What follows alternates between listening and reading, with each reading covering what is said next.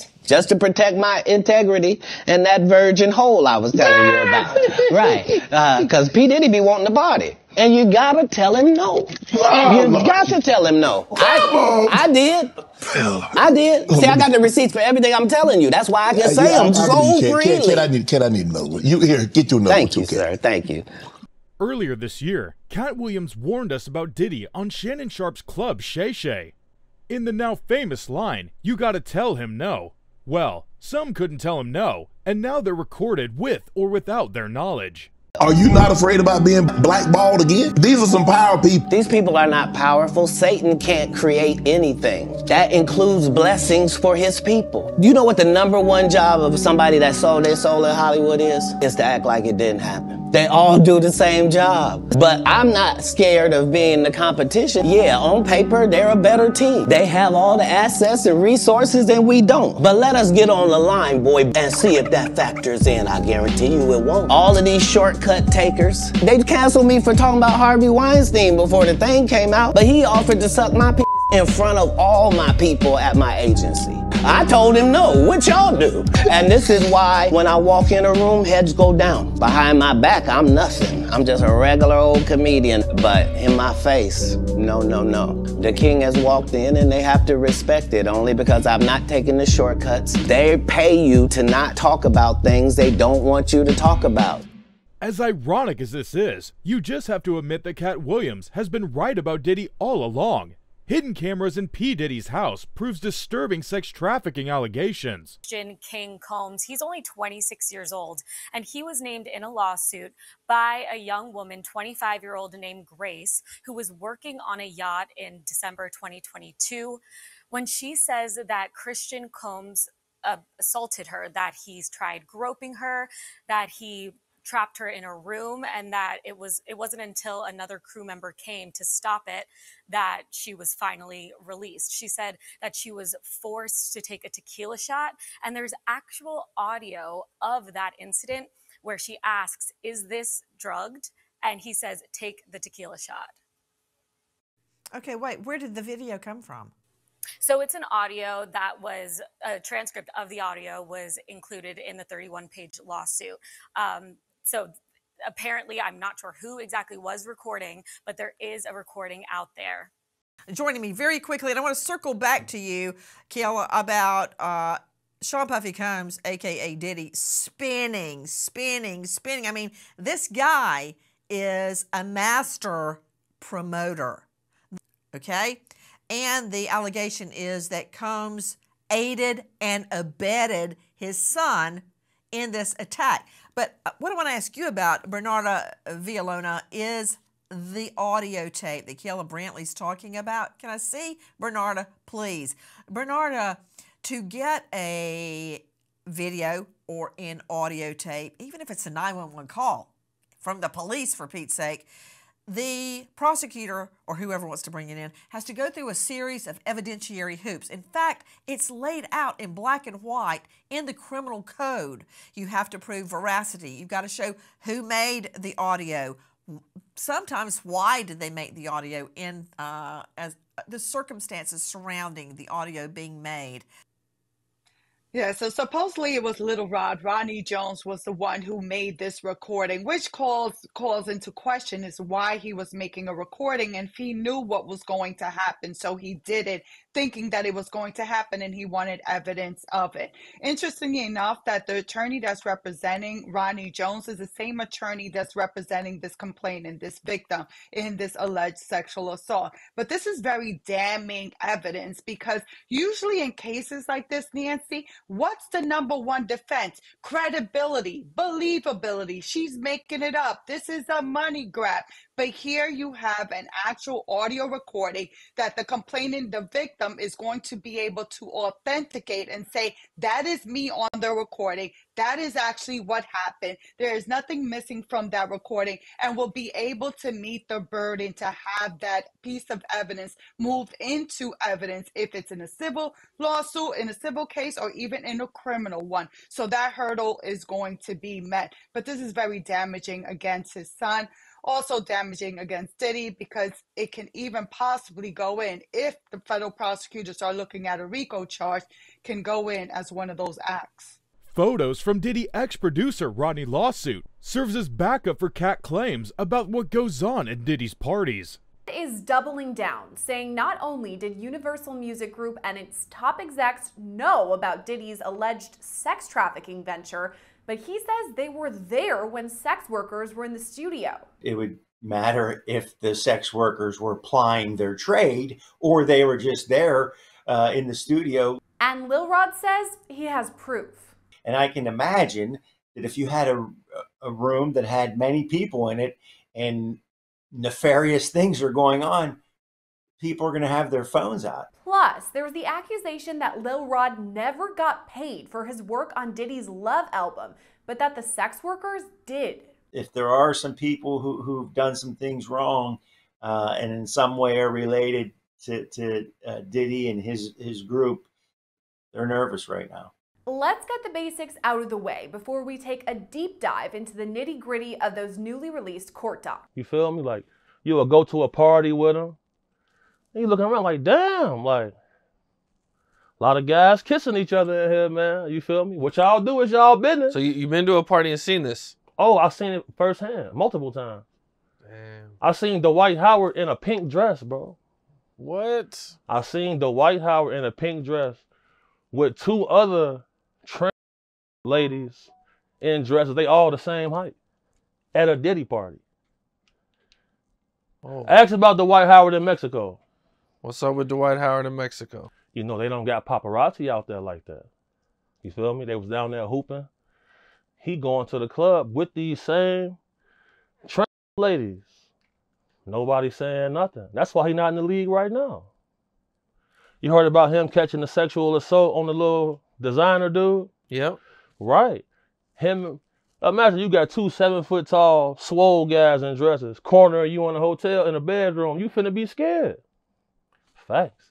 So like, I I distinctly remember going to a Diddy party. All the waitresses topless.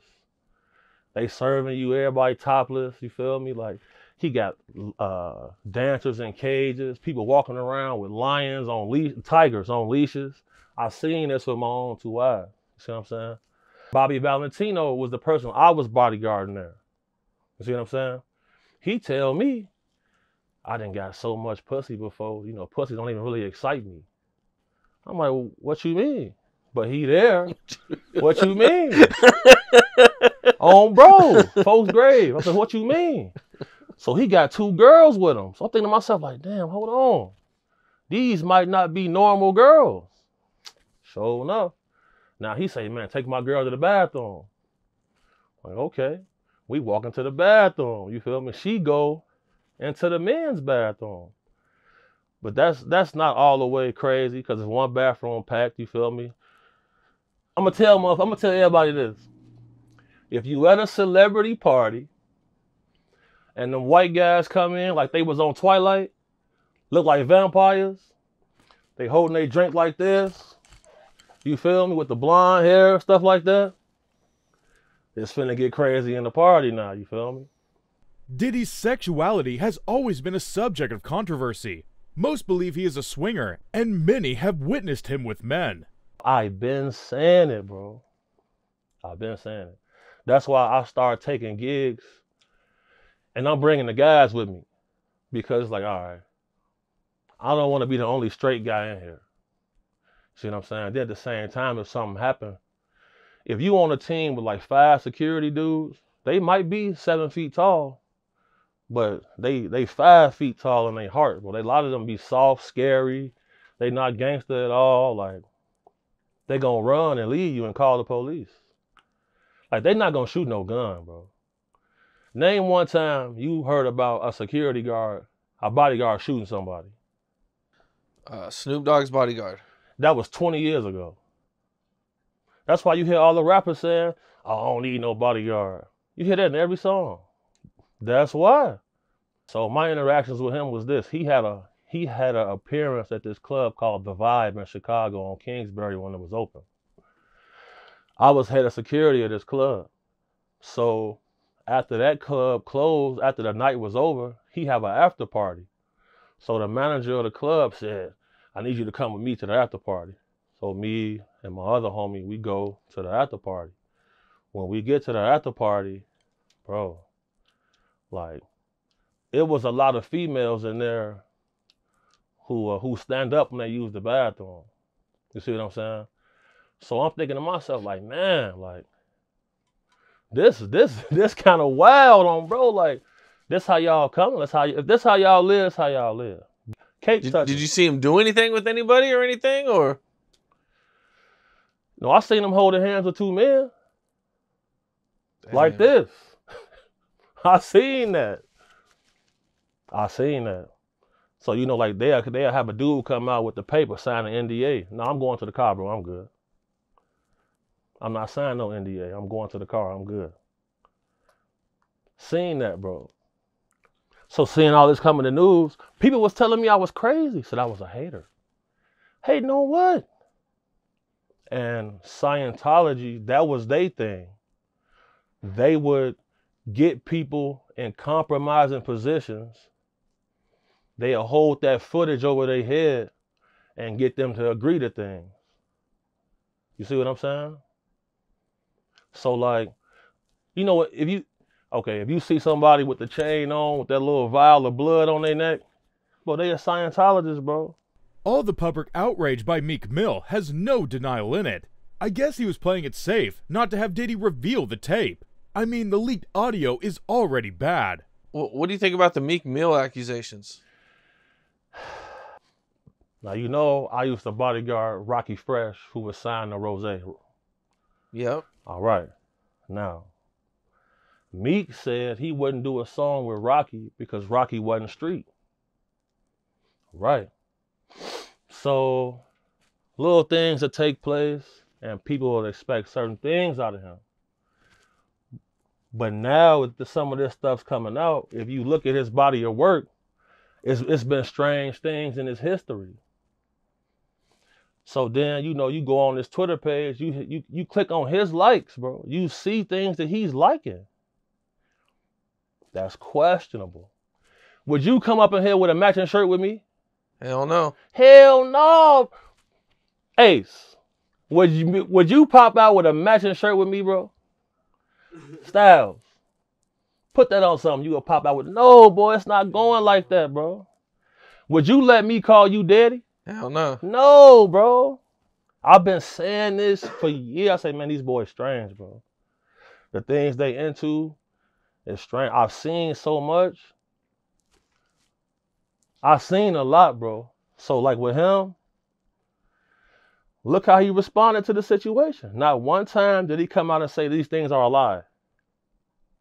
Did you see that? Yep. He didn't say that. He didn't deny it. You, No, he didn't deny nothing. Because if he deny it, what's going to come out? Footage. Mm. You think so? You think Diddy has footage on Meek? For sure. He got cameras through his whole crib. Every millionaire, billionaire I've been around, bro, they got, so I know what's going on. So if I go into the bathroom, I'm gonna cut the lights off, cut the flash on my phone, and look at the mirrors. If it's got that little hollow circle at the bottom, there's cameras in there. It's all, they're gonna be all through the crib. That's why most times I'm gonna chill in the car. Call me, text me if it's getting dangerous. I'm coming in demonstrating. Point blank, period. This the facts, bro. I've been saying it for years, bro. It's for years. That's why I stopped just going by myself. Cause I be having my own money. You know what I'm saying? So like, you can't just tell me anything. So I'm like, okay, me and phone I'm pulling up here. That's all. I'm not gonna pay for all your friends. The guys got cheese. We go to the club. We're gonna buy our own bottles. We gonna stand right here and make sure don't nothing happen.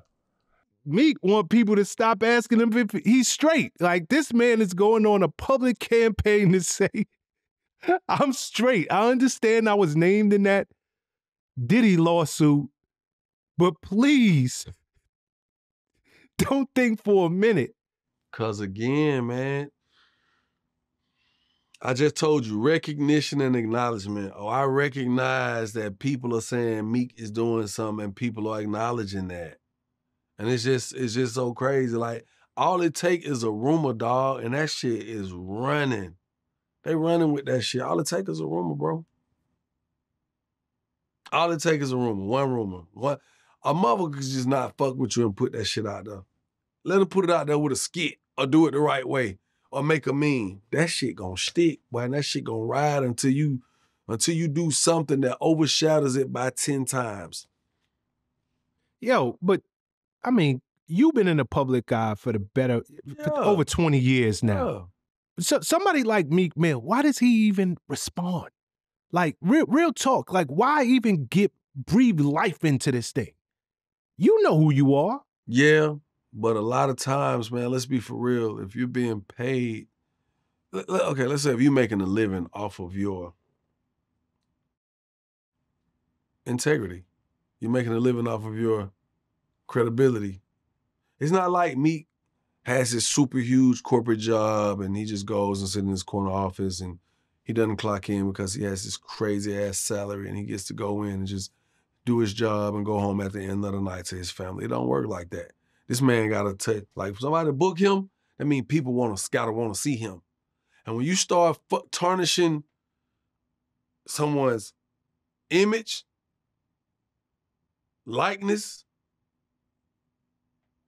you know what I'm saying? Their integrity. When you start playing with that, you start playing with a bag. So if this how this man eating, we ain't just talking about publishing because you gotta wait on pub checks. You gotta wait on that shit.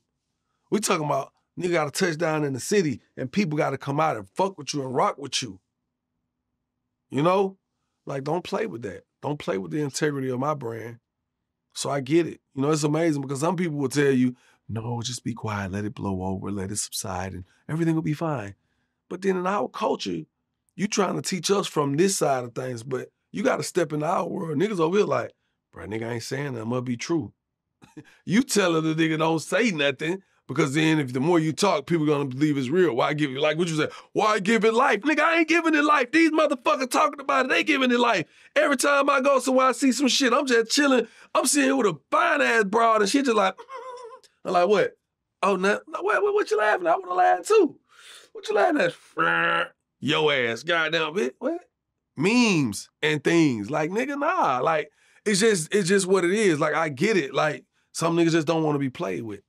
It's just too many. Well, Meek can't be all gangsta now since he wore matching clothes with Diddy, and the presence of the alleged audio of them leaked. Sure, we're part of these freak offs that uh, he's so infamous for. Is, let me ask you: Is this still doubtable at this point that Diddy is, you know? Uh, listen, until I see it, I'm not going to say that it happened. Man, listen. Listen, there's been lots of, I mean, in fact, this one dude, uh, you know, Fat Jewish, you know who that guy is? No. It's this like Jewish comedian guy. He went to this whole story, and th- this story has been kind of popping up again. But he was saying he's at this he was at this one house party and it was a super super high end. He wasn't even sure how he even got in there.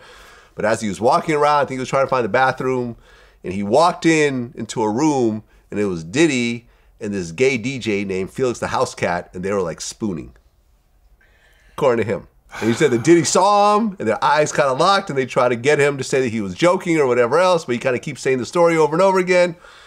And uh, I looked up, I mean, Felix da Housecat is an openly gay DJ. You know, that part is established. I don't know. I'm not going to say it happened. I'm going to say it didn't happen. I wasn't there. I've never had any sort of gay experiences with Diddy. There's just too many clues, brother. Remember Wendy Williams got kicked off the radio for that? Yeah. When she brought up and said that there's some, you know, she has some sort of gay proof, Puffy called and said, you either get rid of her or I'm suing. They got rid of her.